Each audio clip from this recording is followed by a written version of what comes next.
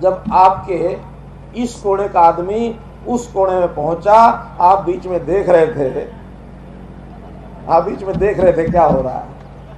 उसको कोई पूछने वाला नहीं है कि विधानसभा की एक कुर्सी रिज़र्व करके रखी हुई है, उसमें भी सत्तर में से सात दिन गया, तिरसठ दिन वो कुर्सी खाली रही है। लेकिन उसके बाद वो जींद वाली खाली हुई तो उस पर भी जाके बैठने का मन कर गया। मिलेगी तो एक, दो तो मिलेगी नहीं। अच्छा वाला बैठा है, वहाँ तेरे पास दूसरी पार्टी का आदमी नहीं था कोई। लेकिन क्या पढ़ाया गया उसको? अरे मौका है बीजेपी को खत्म करने का। आ जा भाई। जो बीजेपी से टकराएगा चूर चूर हो जाएगा। क्या गत बनी?